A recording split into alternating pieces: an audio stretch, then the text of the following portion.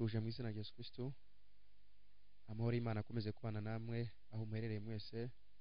Ni muri cya kiganiro cyitwa ngo imenyekane ku iteka y'imana uh, mugezwa na profete robert.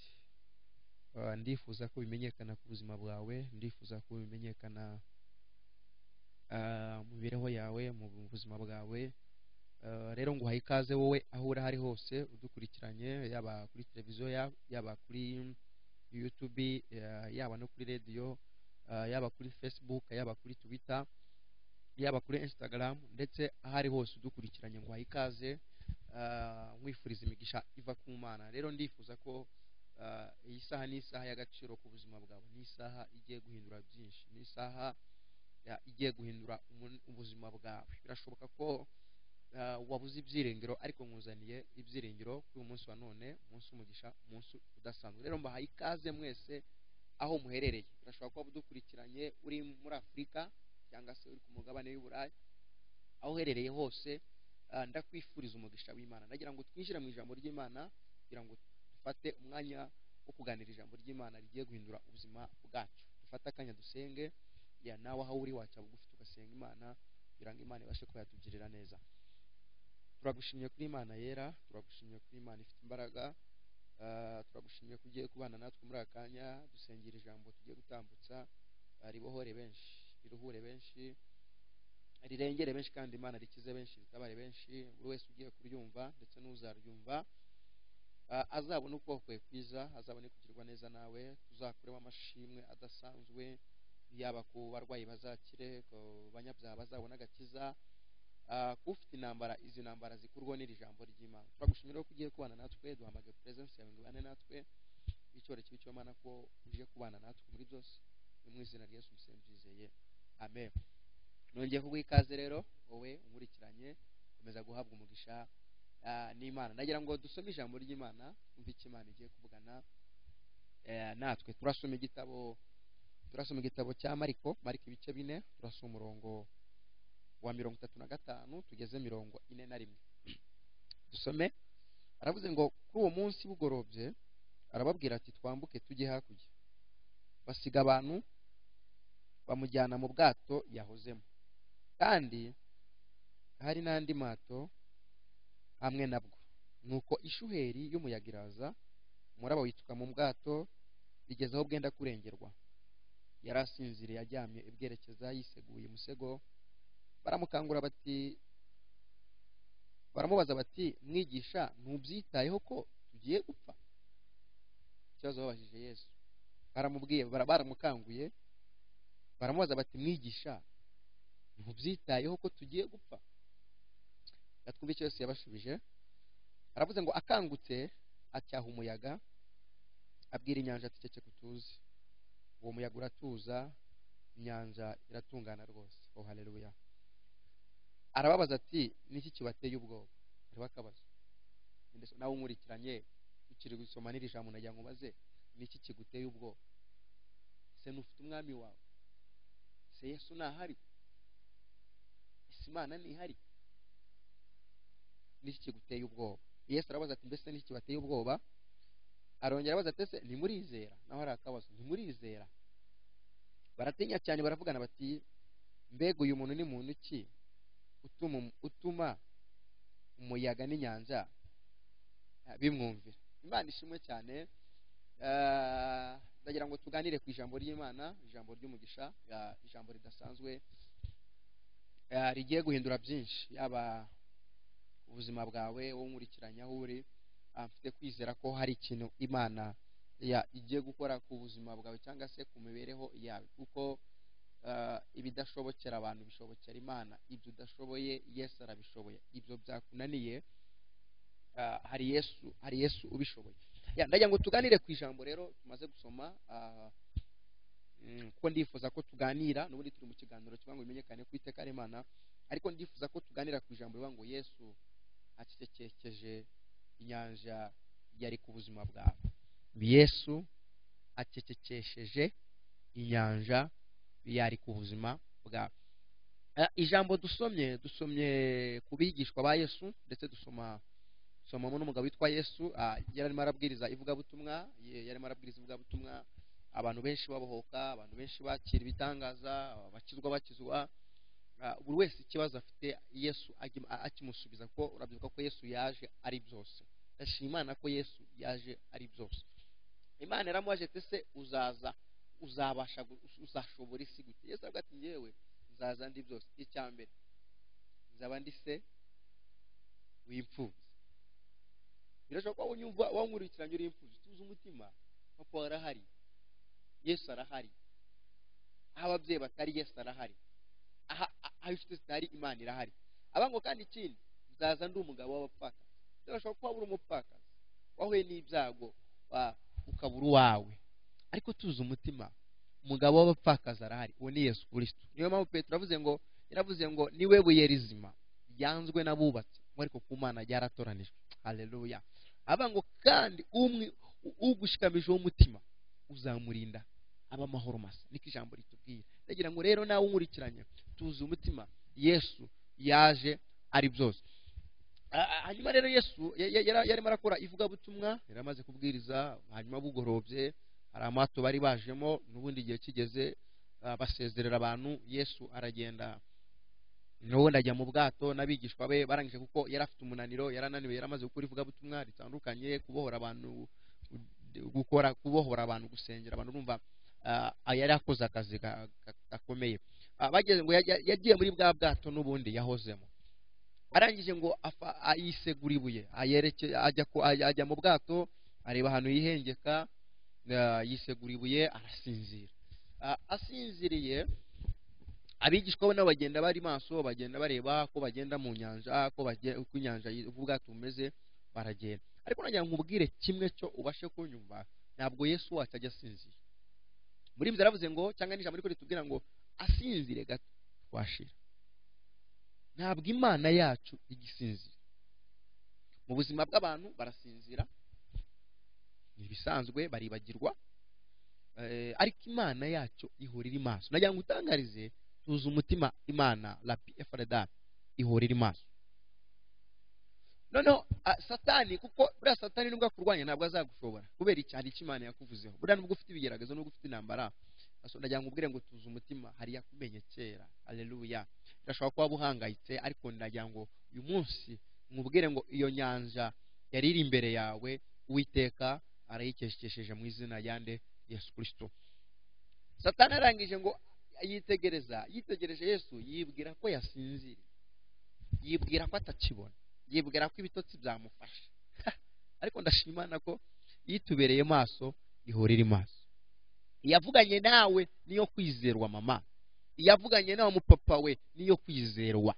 Nawe mukristo wizeye imana. Iyavuganye nawe niyo kwizerwa. Nawe unkurikiranye iyakurinze ziriya ntambara yasibye za mvuzi yagukuye muri muri- koma yagukuye kuri ya seta ba- abantu bazi bamaze gusinya ati "Uyu birarangiye naho yagiye iracyari ndagira ngo utuze umutima. Wikangwa n'izo ntambara ziri imbere yawe. Hari yesu uje kuzicecekesha mu izina ryanjye yesu kirisito biraza kumenyekana ko ufite imana. Biraza kumenyekana ko imana wize ari imana ishoboye byose. Satani arangije ngo abyitegereje yibwira atekereza ko atekereza ko yesu ngo yasinziriye. Arangije nta kindi yakoze ngo amaze kubona ko ubwato ah, ubwato bugeze mu nyanja mo hagati. Nta kindi yakoze. Yohereje ishuheri. Amaze kohereza ishuheri ishuheri ihita ikurikirana n'umuyaga. Ndagira ngo ubwire gatoya ku bintu bigera muri bibiri ububi bw'umuyaga ushobora kuba utazi umuyaga ndakubwira umuyaga. Ushobora kuba utazi umuyaga cyangwa se abantu bageze mu mato ah, bagiye babona ishuheri mu- murabizi. Abantu bagiye babona umuyaga uburyo uza mu nyanja aba ari ikintu gifite imbaraga kidashobora guhagarikwa na buri umwe wese. Niyo niyo mwakora iki? Ishuheri yaje umuyaga waje nta mbaraga ntaki aba ari ibintu bikomeye cyane. Ariko ndashima imana ko ibikomeye. Uwiteka uri hejuru abirusha imbaraga. Ndagira ngo ubwire ngo ibyo ubona ko bikomeye ku buzima bwawe. Hari imana ije kubirusha imbaraga mu izina rya yesu kirisito haleluya tuzi umutima. Imana iri kumwe nawe ni imana igufiteho umugambi wikwiheba. Wikwiyanga. Mm. noneho ijambo ndagira ngo ku bintu bijya muri bibiri ni byo nari mvuze. Ah, eh, biranga umuyaga. Ubundi ikintu cya mbere kiranga umuyaga. Iyo umuyaga uje ikintu cya mbere. Ntabwo umuyaga uguturuka inyuma uguturuka imbere. Yesu ashimwe cyane. Ntabwo umuyaga ntabwo ushobora guturuka inyuma umuyaga uturuka imbere. Kandi umuyaga iyo uje nta kindi ukora uhita ukuhumya. Mbese ukaguhuma amaso ntubashe kureba aho ugana. Uraza iyo bibaye ngombwa uhita uhindura icyerekezo. Uhita uhindura inzira. Ikindi umuyaga iyo uje ukubura byose nta na kimwe ushobora gusiga. Yaba intebe yoroshye yaba udushashi buri kantu kose iyo umuyaga uratwara. Abigishwa bari mu nyanja rero barangije bagiye kubona babona babona ishuheri iraje babona umuyaga uraje Hmm, baravuga ati "Ese ibiki biduteye? Tubaye iki? Kumbe satani yabikoze yibwiye ko yibwiye ko yesu yasinzire. Ndagira ngo nenga utangarize wowe unkurikiranye hari umuyaga wahuye nawo hari umuyaga wagiye wagiye ujya kubona ubona uraje uraguhumya. Uzi ko hari igihe hari igihe umuntu ahura n'intambara? Ntamenye n'uburyo ziza ukumva mu rugo rwawe zirahagurutse. Ukumva mu kazi zirahagurutse. Ukumva um, ku bana bawe zirahagurutse kuri bakuru bawe zirahagurutse. Ukumva umuryango wose intambara zirahagurutse. Ukibaza ese ndazira iki? Hmm?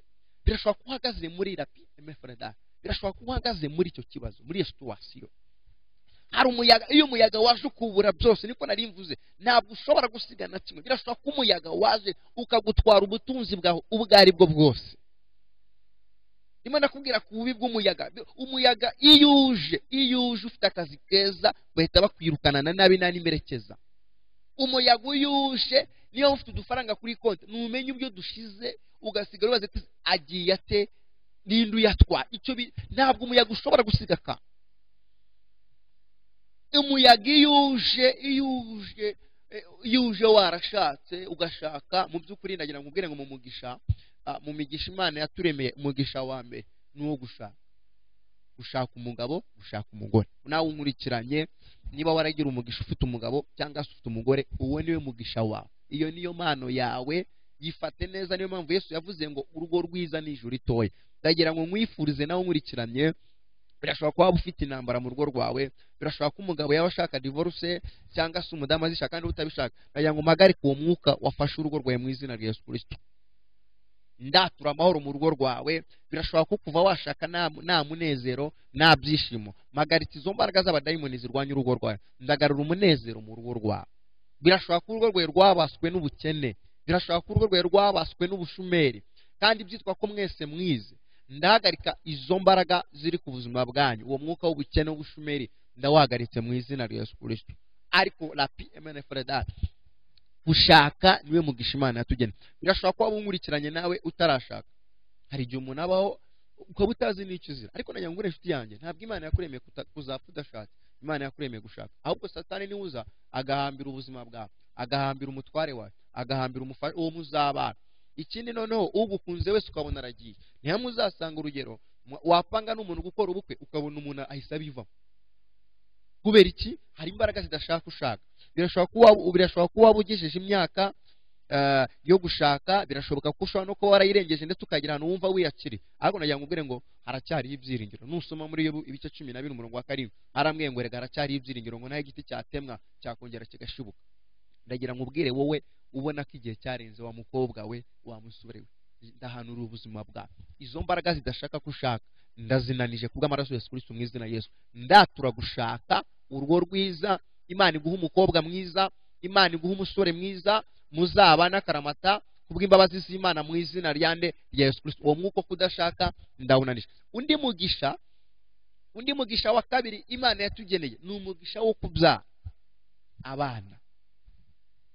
Kubyara. Ntabwo imana igeze ntabwo imana igeze yigeze iturema kutabyara. Birashoboka ko waba unyumva warabuze urubyaro.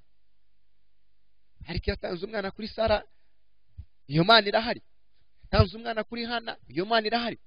Hari abakirisitu dufite bagiye babyara. Hari abo muturanye uzi ko babyaye. None se wowe hari icyo imana mupfa narimo nakubwira ngo iyo iyo- umuyaga uje ukubura byose. Iyo uje uri mu rugo rwawe warashatse satani ntatsinda ko akubuza abana pe ugasanga mufite ubutunzi mufite mubayeho neza nta kibazo mufite. Ugasanga dayimoni na yo yaraje irafunga iravuga ati nanjye abana ntabo nzaba. Ariko nagira ngo inshuti yanjye nkurikiranye. Ni imana itanga umwana. Dushingiye ku ijambo ry'imana.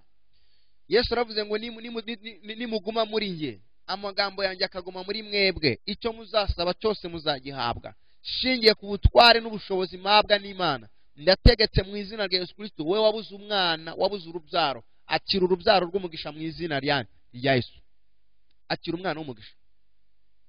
Amen. Ngo ndavuga ati umuyaga iyo uje utwara buri kintu cyose.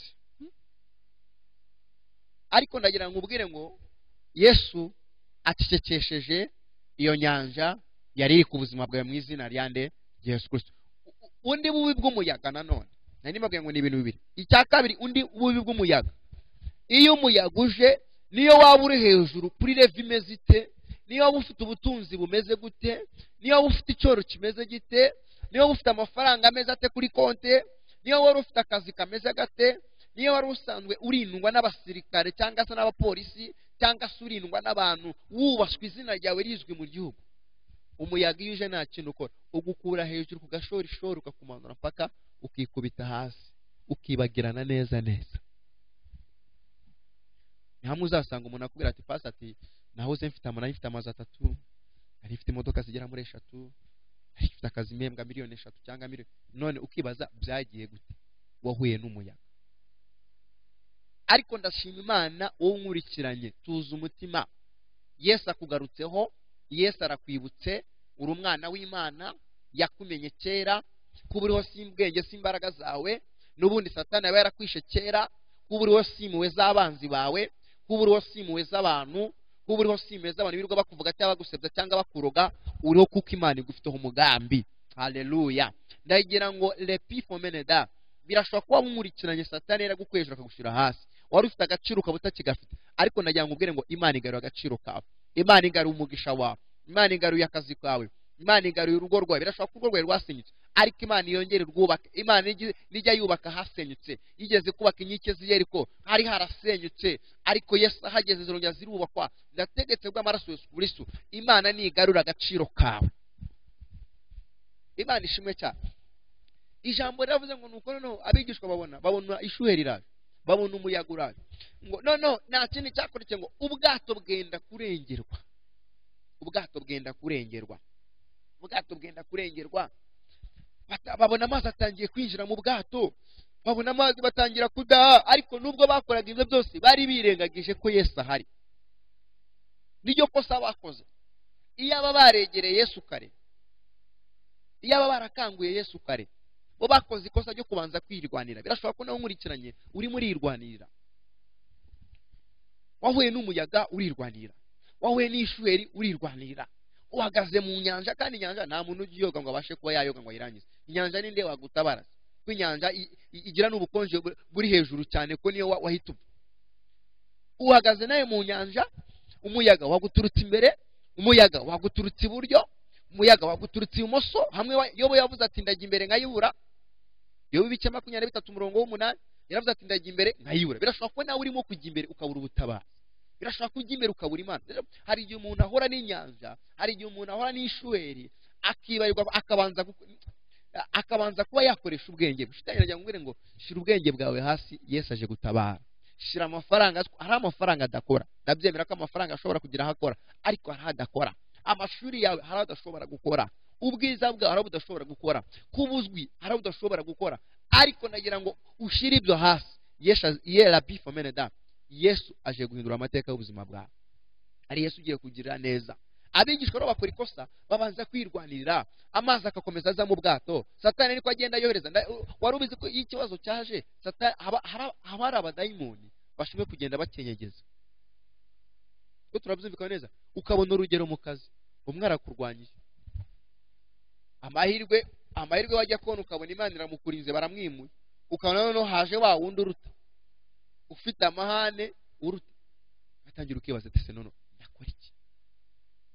Ni iki ndi bukore birashoboka ushobora kuba ufite ideni rya banka warifashe kugira wiyubake warifashe kugira ngo ugere kuri ibi. Ariko kugira umunsi wa none wabuze amahitamo. Yewe n'inshuti zawe wagiye uzi gusa ubu amadeni yose arakuzuye. None watangiye kugenda uhindura inzira uba se nyura aha? Iyo telefone iguhamagaye ugira ngo ni banka ugira ngo ni wa wundi ukwishyuza. Oya. Igihe wirwaniriye kirahagije ari yesu uje gutabara mu izina rya yesu abigishwa rero barangije barirwanirira. Niryo kosa bakoze batangira kudaha amazi. Petero ati nyabuneka turapfuye. Petero ati nyabuneka turashize petero ati nyabuneka nyabuneka nyabuneka birashoboka ko nawe urimo urasakuza. Ubundi ubundi ah, ubundi ndagira ngo usabe ntugasakuze mu kigeragezo. Ugerageza ubintwaye. Ugerageza umutima wawe uwuturishe. Ugerageza wikarume eh? Wikarume ibintu byo ntibimenywe n'abantu ahubwo we wi- wizere imana. Dawidi yaravuze ngo abiringiye uwiteka muri zaburi y'ijana na makumyabiri bameze nk'umusozi wa siyoni. Nta muntu wigeze uza imbere y'imana ngo atayimara amasa. Nusoma zaburi ya mirongo ine na kane umurongo wa gatanu. Yaravuze ngo hahirwa ababa mu nzu yawe mana kuko babasha gushima ubudasiba. Hahirwa abafite imitima inzira igana isiyoni eh? hahirwa abaza imbere y'imana. Hahirwa abasenga. Hahirwa abegera imana. Hahirwa aba- ababaza imana. Hahirwa abanyamasengesho. Hahirwa abiyiriza. Hahirwa aravuga ngo abo ngabo iyo bageze mu gikombe kitwa baka. Baka ni iyi nyanja ndimo ndakubwira. Baka nu- baka n'uyu muyaga ndimo ndakubwira. Baka ni iyi shweri ndimo ndakubwira. Igikombe cyitwa baka ngo iyo bakigezemo birashobora ko ukihagazemo urabona cyakwasamiye. Urabona kigiye kukumira. Urabona ugiye guseba. Urabona ugiye kumwara. Ariko ndimo ndavuga ngo humura yesu aratabaye. Iyakeshekesheje inyanja nu- la pifomene da nubiraje kandi igiye guturisha iyo nyanja. Hari igihe umuntu yibaza urugero abigishwa barirwanira biranga. Ariko nubwo birwaniraga bari bari bibagiwe ko yesu ahari kandi yesu ushoboye byose. Niba yesu ah, yarazuye lazaro ntabwo ari kunanirwa inyanja. Niba yesu yarakijije aba- yara- yarakijije abarwayi na mani wari umugabo w'ingabo nusi- bwo. Urambwira ko yesu atagukiza? Birashoboka ko ufite indwara umurikiranye. Satani ukuntu ari mubi iyo umuya- iyo umu- iyo umuyaga waje ubundi iyo umuyaga waje ugutwara ubuzima bwawe ukagusigamo indwara. Wajya kwa muganga bapima bakavuga ati iyi ndwara ntizakira. Icyo kora izoro. Kandi ugasanga ugasanga wari ufite ubushobozi amafaranga kuri konti yawe ubayeho neza mu- buzima busanzwe nta kintu busa. Ariko ugasanga dayimoni yagutwaye ubuzima bwiza bwawe imana yakuremeye iguteretsemo indwara aho rero ntuzasanga umuntu ntabwo uhora wishimye. Niyo urwaye giripe gusa kugira ngo ni cya cyorezo cyagutse. Niyo urwaye umutwe gusa uhita wihuta ukajya kwikubita inshinge. Uhitaho tugafata bya binini. Aravuga ati rwose. Niyo abandi baseka we n'uba useka cyokora werekana ko uri guseka. Kubera iki? Hari indwara y'ikigugu ikuriho. Ariko nagira ngo wizere iri jambo n'imana ikiza yakijije na mani n'uyu munsi nawe iragukiza. Izera aho uri rambura ikiganza korapi ku nda yawe ku mutwe wawe. Nda- senga isengesho rigiye gukiza izo ndwara zose z'abazimu n'abadayimoni. Imana yakuremeye kurama ntiyigeze kuremera kuzapfa urwaye cyangwa se wishwe n'izo ndwara. Mana ndategetse. Urakwiriye kandi urahambaye. Mpagaritse ibitavuga imana ku buzima bw'abana b'imana. Izi ndwara bababwiye ngo ntizizakira. Ndazihagarika kubw'amaraso ya yesu mu izina rya yesu kristo w'i nazareti. Uko wakijije na mani kiza ubwoko bwawe. Babe bazima kandi tuzagushima. Akira gukira mu izina rya kristo humura wizere imana ishize imwe mu kanwa kawe nujya kwa muganga uzasanga warakize nujya kwa muganga uzasanga ibyo bibyimba nta- ntabyo ugifite nujya kwa muganga uzasanga amaraso yesu yakuboye. Uzazamura ishimwe uvuga ineza y'imana mu izina rya yesu kristo. Rero abigishwa ikosa bakoze barirwaniye. Buriya rero iyo umuntu yirwaniriye ah, iyo umuntu atangiye kwirwanira arahagera akifuza kuba yapfa. Birashobora kuba ufite intambara. Birashobora kuba ufite ibigeragezo hari igihe umuntu agira amahirwe mu by'ukuri akabona amahirwe akaba yajya kuba hanze mu bihugu bitandukanye. Birashobora Uka- ukibwira ko nuhagera uzahabonera ubuzima. Ariko urabona ubuzima bwanyu. Nta kazi ufite nta byangombwa ufite abo wari wizeye barakwirukanye cyangwa se ba- bara- baragusezereye watangiye kubura icyerekezo uri muri baza ese mana ndakora iki ndasubira muri igihugu navuyemo. Ese ndafungwa. E- ese ndakora iki? Ukagera ahantu ho ku- u- uba utangira kwibaza ati icyama ngapfa? Oya. Birashoboka ko uhagaze muri ubwo buzima. Ndakubwiye ngo humura imana iragutabaye iyahagurutse igaturisha inyanja. Iturisha iyo nyanja iri ku buzima bwawe mu izina rya yesu kirisito birashoboka ko urimo urabona ubuzima bwagucanze urajyaho ukabona nta nzira. Urajyaho ukabona nta nzira. Ariko uravuga ngo hutuza umutima wa musore waba umurikiranye abasore bak- abasore dukunda kubaho neza abasore bakunda kubaho neza bumva nyine baba ari abasore eh, bakwambara eh, barya neza bakunda ubuzima bwiza abasore. Ariko nanone gukunda ubuzima bwiza burya bisaba gukura amaboko mu mufu ugakora nanone bisaba gukora. Kandi iyo umuntu ashaka kugera ku kintu nuko aba afite intego. Kandi iyo umuntu afite intego ntabwo ashobora kwanga akazi akazi kose aragakora ko akazi keza ka- akazi kabi kaguhesha keza. Ariko nagira ngo irashobora ko urimo kunyumva wumva ubuzima bwanze. Ariko ndimo ndaguhumuriza nkubwira ngo imana ije gukekesha iyo nyanja y'ubukene ari imbere yawe. Birashobora kuba unyumva uri umukobwa wibaza ati se mbayeho gute? Simfite aho kuba. Mukanya urarara aha ejo ukara uwo ni umwuka w'uruzerero icyo bita umwuka w'uruzerero ni mu kanya wari uri kwa anko wawe barakwirukana. Wari uri kwa anti wawe barakwirukana. Wari uri kwa nyoko barakwirukana. Wari uri kwa mushiki we barakwirukana icyo bita umwuka w'uruzerero ndagira ngo uyu munsi imana ihagarara pifomene da ndahagarika umwuka w'uruzerero ku buzima bwawe. Imana niguha icyerekezo cy'umugisha. Birashobora kunkurikiranya uri umumama utuzwe n'amarira mu rugo rwawe utuzwe n'amarira ubuzima buranze umugabo aguha amafaranga ari uko bikomeye ari uko wabanje gusaba. Aza yihagiye yanyweye izo nzoga yarengeje izo burusheti. Akaza turi mu bi n'amakirida mu hano abana baburaye babuze amafaranga y'ishuri. Birashobora kuri muri ubwo buzima? Hmm? ntabwo ushobora kubona amafaranga yo kujya muri saro niyo ugerageje kuyabona inshuti ziba zayagoye kandi ukitwa ko umugabo afite akazi. Wowe ni gut- wagutwaye umunezero wawe mu rugo rwawe. Birashobora ko umugabo ashobora kuza akigira kuri watsapu ukabona arimo aravugana cyangwa umugore ukabona nawe arimo aravugana n'abandi ndagira ngo izo mbaraga zafashe urugo rwawe zose nizihagarare wa mugabo we ni imana nigarura agaciro kawe wa mumama imana nigarura agaciro kawe nawe ubona akazi ubashe kugera kuri byinshi mu izina rya yesu kirisito haleluya abigishwa rero barangije barirwanira birashoboka ko nawe urimo urirwanira birashoboka ko n'uyu munsi ushobora kuba ushaka wenda urugero ibyangombwa byo kwerekeza mu bihugu bitandukanye ariko wagiye wirwanira ushyiramo kubeshya utuntu kugira ngo byibuza ubone ubuzima. Ariko nagira ngo uyu munsi wa none izo mbaraga zakurwanyaga zihagarare mu izina rya yesu kirisito viza wagiye ubura imyaka n'imyaka binyuze mu bubasha bw'imana binyuze mu muco w'imana imana niguhe viza mu izina rya yesu kirisito birashoboka ko wagiye ubura urugo wagiye ukunda n'abasore benshi bakagenda cyangwa abakobwa benshi bakagenda. Ariko uyu munsi wa none ndategetse reka uw'imana yakugeneye arahari. Arahari?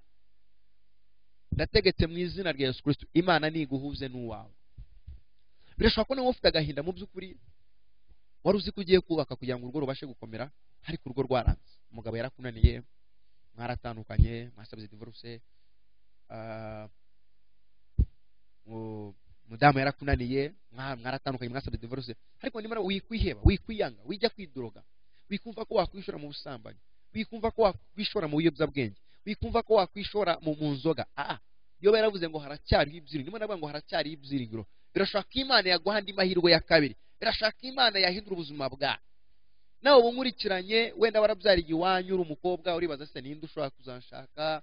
Cyangwa uri umusore warabyariye ninde ushobora umva nshuti yanjye ngubwire ngo haracyariho ibyiringiro ni ku ijambo rivuga ngo yesu akangutse. Ndagira ngo rero igihe wirwaniriye kirangije tuzi umutima reka dukoreshe imbaraga z'imana reka twizere ima- imana reka twizere imbaraga z'ijambo ry'uwiteka.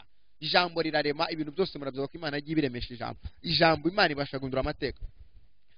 Ngo bamaze kwirwanirira warirwaniriye nawe ariko nagira ngo uyu munsi utuze kuko hari yesu ukwibutse ijambo ryavuze ngo bamaze kwirwanirira. Mm. bageze aho biranga. Petero yibuka ko yesu ahari. Mm. arakebuka abona yesu arahari. Kandi abona yesu arasinziriye. Ariko mu by'ukuri ntabwo yari asinziriye.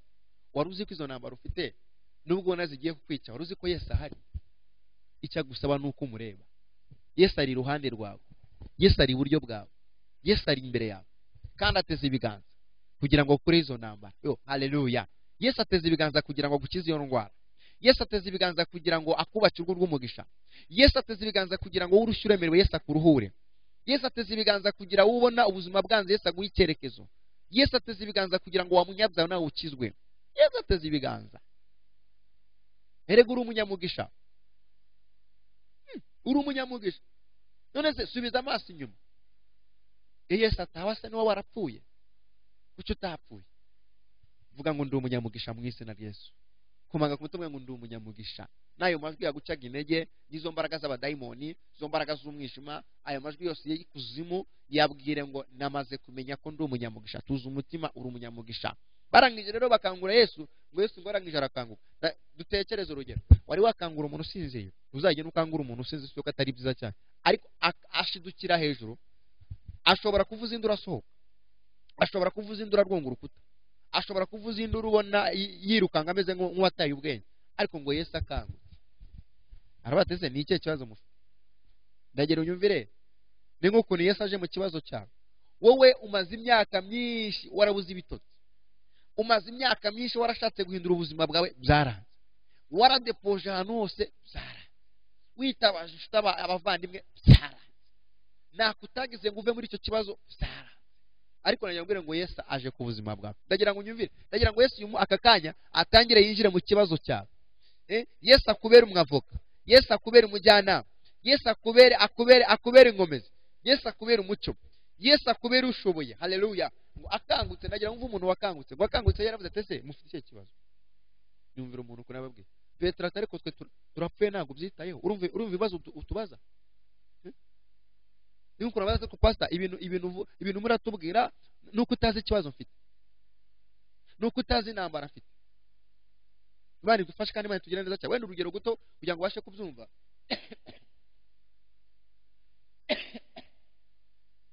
Sore kugira wenda urugero ubashe kubyumva. Hari mwene data hari mwene data yigeze kuza. Yari umukobwa. Yari afite imyaka yes mirongo mirongo ine mirongo ine. Araza arambwira ngo pasita ndabizi uvugana n'imana.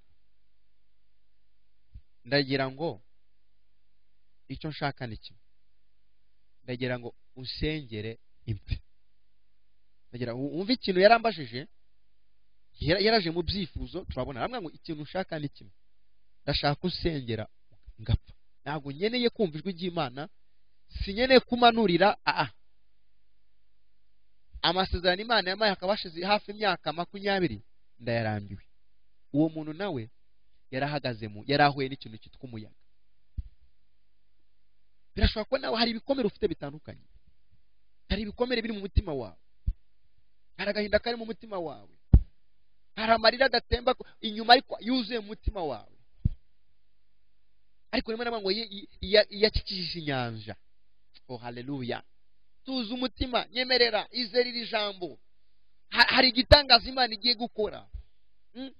hari ishimwe imana izanye ku buzima bwawe. Hari agaciro imana igaruye. Hari umunezero imana igaruye. Hari ugusetswa hari ukugendererwa hari uguhamagarwa hari feva hari igitinyiro hari ugu- hari ugusabana. Hari agaciro imana igaruye. Rapifo mu buzima bwawe. Ndamubwira ati ese kuki ushaka kupfa we wayibwiye kuki ushaka kumva ko ngenda busenga imana? Ikakwica ko nzi ko imana itica ngo ngo pasita ndarambiwe fasha. Uwo muntu yara- yarahagaze mu nyanja nawe hari inyanja uhagazeho. Birashoboka ko urimo kuvuga amagambo nk'ay'uwo muntu. Birashoboka ko urimo gutekereza kuba wahunga tukakubura. Ariko se urahungira hehe? Birashoboka ko wumva ko wasubira mu byaha. Hari igihe umuntu rero nanone aza mu gakiza yahura n'intambara akumva yasubira mu byaha ubwo ni bwo ahura n'utuntu tumushuka turyamane nguhe akazi turyamane nguhe igishoro turyamane nkwishyurire inzu turyamane ngugure iyo modoka. Utuntu tugushuka tudafite umumaro tw'igihe gitoya. Ukumva amajwi ariko se ubundi ubundi ubundi ubundi urakora iki? Ubundi wakoze ibyaha n'ubundi ubundi se ntusambana? Utanishyurwa cyangwa se nukora amanyanga n'ubundi ntacyo ubona wagiye shitani nagira ngo garukira aho ngaho. Hari imana ije guhindura ubuzima bwawe. Izera iri jambo birashoboka ko bya- byagucanze nk'aba bigishwa barirwaniriye babura amahitamo. Ariko ndimo navuga ngo hari imana izanye ubutabazi bwawe. Ijambo rirambwiye rero ijambo rirambwiye tumaze gusoma. Yesu akangutse. Ntabwo atari mufite ikihe kibazo. Petero atari ko turapfuye we n'ubyitayeho. Ni nk'ukuntu barimo batepa mfe yesu ahari. Ngiye gupfa mfite amasezerano ntabwo uri bupfe. Ngiye guseba imana yarambwiye ko ntazaseba ntabwo. Siriyasi ntabwo uzaseba. Ngubwije ukuri kw'ijambo ry'imana. Iyavuganye nawe niyo kwizerwa no kubikora ije kubikora. Akangutse petero atari ko wowe mbere yuko tubwira ibintu byinshi banza ucishishe yesu aba atari kose mufite ikihe kibazo? Murapfa muri kumwe na yesu? Ndimo ndakubaza ese wowe ufite ikihe kibazo? Ese urapfa uri kumwe na yesu? Ese uraseba uri kumwe na yesu? Si nzu barayiteza cyane uri kumwe na yesu. Se baragusohora yesu yesu arabyemera. Se abana bawe barabirukana yesu abyemere. Aho ya. Iyacecekesha inyanja inumye ku buzima bwawe irambwiye ngo yesu acecekesheje iyo nyanja iyo shuheri uwo muyaga umazemo igihe umazemo imyaka umazemo igihe kinini cyane satani yaraguhambiriye uhagazemo hagati mu nyanja warazengurutse wabuze uko uyivamo yakubujije gusingira. Imana itesha agaciro izo mbaraga z'abadayimoni. Sohoka muri iyo nyanja mu izina yesu. Ndaguhuza n'umugisha wawe ngo yesu akangutse nta kindi yakoze. Imana ishimwe cyane. Ngo akangutse. Yitegereza umuyaga. Aravuga ati umuyaga tuzi. Niko yivugira nari ibintu byinshi. Nagira ngo ubwire ngo icyo wabuze imana irakizanye icyo washatse imyaka myinshi warakibuze imana igi- igiye kukiguhuza na cyo mu izina rya yesu kirisito hari imana iguhuje n'umugisha wawe. Wanyuraga ahantu ugenda usitara ugiye kuhanyura udasitara. Wanyuraga ahantu ugenda wihishe ugiye kuhanyura utihishe. Wanyuraga ahantu wumva wumva wu- wu- wumva nta gaciro. Uhanyuze ufite agaciro. Kandi nkubwize ukuri ngo aho wasuzuguwe ni ho imana ikubahishiriza. Kubera iki? Irinze icyo yavuze. Si ibikoze kubw'amasengesho yawe. Si ibikoze kubwo wakiranutse ibikoze kuko uri umwana wayo. Ibikoze kuko hari icyo yakuvuzeho aho uhagaze hose birashobora kuba uri no mu byaha yesu abigukuyemo aguteretse mu gakiza. Birashobora kuba waba uri mu buzima bwo kwiyanga. Yesu abugusohoyemo. Agushyize mu buzima bwo kugira umunezero no kwikunda. Akangutse acyaha umuyaga umuyaga uratuza. Nagira ngo aka kanya umuyaga uri ku buzima bwawe utuze mu izina rya Yesu. Arangije akangutse ara- ana- aranavuga ati nawe wanyanja we ceceka utuze utunganirwe rwose. Iyo nyanja ngo ako kanya iraceceka iratunganirwa rwose. Ndagira ngo ayo- majwi yose umaranye igihe kinini ayo majwi yose agufata ugeze mu gitanda ayo majwi yose agufata ugeze mu kazi ayo majwi yose agufata ugeze ubonye abandi barimo baraseka cyangwa ariko neza ayo majwi yose agufata uri mu muhanda ugahora witekereza. Nanije ayo majwi mu izina rya yesu kirisito iyo nyanja niceceke ima niceceke ituze ntizanagaruke ndagira mvuga utuntu tubiri dusoza dusenga.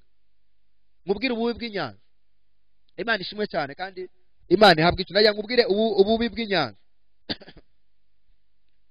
ikintu cya mbere inyanja ikikora ikubuza ikubuza kwambuka. Ikubuza gusingira. Ikubuza kwakira. Ukajya ubona imigisha hejuru ariko kuyifata byaranze. Ukajya ubona amahirwe imbere ariko kuyasatira ngo uyasange byaranze. Nicyo bita ko umuntu aba ahagaze mu nyanja. Ukabona abandi barabona amahirwe barayabona ariko wowe wajya kuyafata bikanga. Burya uba uhagaze mu nyanja. Ariko ndategetse mu izina rya yesu kirisito iyo nyanja yisohokemo hura n'umugisha wawe mu izina rya yesu kirisito iki cya kabiri ububi bw'inyanja. Ububi bw'inyanja uhagaze mu nyanja uhura n'ibibazo bitarangira. Hamwe utangira ko yatese ibibazo? Ibibazo bi- ibibazo bitarangira hmm? ni hamwe umuntu atari ko yatese ukihana ibyo utakoze ukihana ibyo kwa k'umugabo wawe ukihana iby'umugore wawe ukihana iby'umuryango wawe byagera ngo na byo ukabona biranze ikirwa kuri mu nyanja. Uhura n'ibibazo bitarangira ugatangiye se hari icyo mpfa n'imana ugahora wihana. Ni hamwe none usoza utuka imana uvuga ati ariko si koko imana irashaka wiki? Iki ni imana. Aho ni ho uzasanga umuntu avuga ati ariko ubanza imana yaran- yarandemeye kuruha. eh, yarandemeye kudashaka kudakira eh, hari n'abavuga ati rega imana ntabwo izaza twese dufite amafaranga kuki utayagira ariko mu izina rya yesu kirisito ndayakwatura mu izina rya yesu ugomba kuyagira. Kuki wumva kuri uwo hasi ijambo ryaramenye ntabwo imana izatugira imirizo izatugira imitwe. Kuki wumva ko uzaba umurizo ariko? Mu izina rya yesu dayimoni arayitesha agaciro. Akira kuba umutwe.